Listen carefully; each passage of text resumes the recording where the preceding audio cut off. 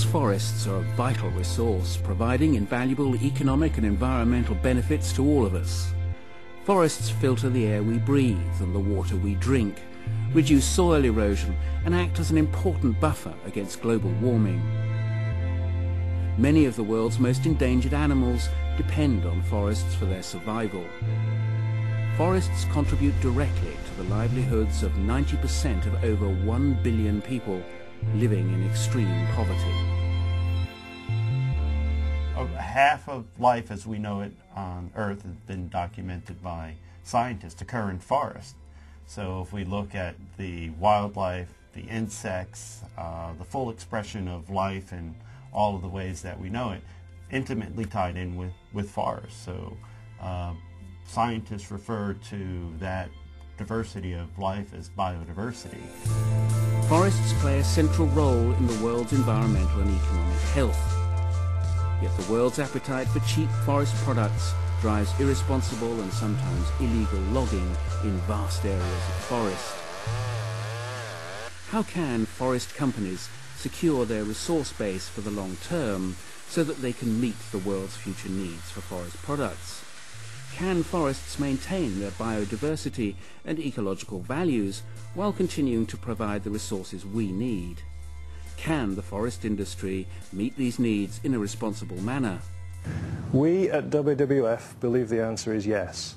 If the world's forests are managed sustainably and responsibly, it is possible to supply all the world's wood requirements as well as maintaining biodiversity. And I think sustainable forest management is the best hope for conserving the biodiversity of the world's last great forest areas like uh, Borneo, like the Congo Basin, like the Amazon. An initiative of the international conservation group WWF, the Global Forest and Trade Network, or GFTN, is a global partnership that enables markets to work for forests. GFTN is made up of suppliers, producers and purchasers from across the spectrum of forest product business that are willing to lead the industry and responsible management and trade. The Global Forest Trade Network uh, works very cooperatively with customers, um, with large corporations to identify companies that are already interested in pursuing um, that sort of stepwise approach to ensuring that the, they're buying good wood and then supplying their customers with good wood products.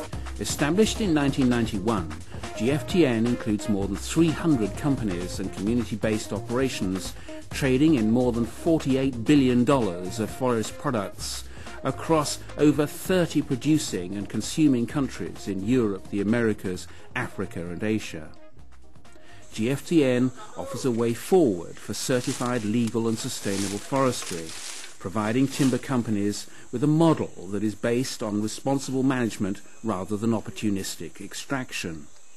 To help companies move towards this model, GFTN offers technical assistance to help them achieve credible forest certification as well as market access to timber products that are certified or in progress to certification. But there remains significant trade in wood and pulp from illegal or controversial sources, which generates corporate risk for buyers and suppliers and threatens the economic viability of responsible producers.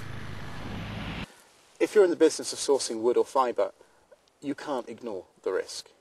Illegal logging, logging of high conservation value forests, trade in illegal products, all of these things are likely to hit your brand and be a risk to your business.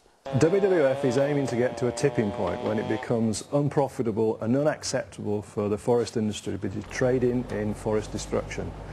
Currently, about 10% of the world's timber is traded through GFTN member companies, but clearly we have to get that up to a much higher proportion so that the GFTN approach becomes mainstream throughout all of the industry. The rewards of GFTN membership include increased business security and an enhanced corporate reputation. Through partnership with like-minded companies, forest product companies worldwide can ensure a reliable timber supply, embrace corporate responsibility and join the company of businesses helping to lead the forest products industry to a new era of smart management coupled with environmental and social stewardship.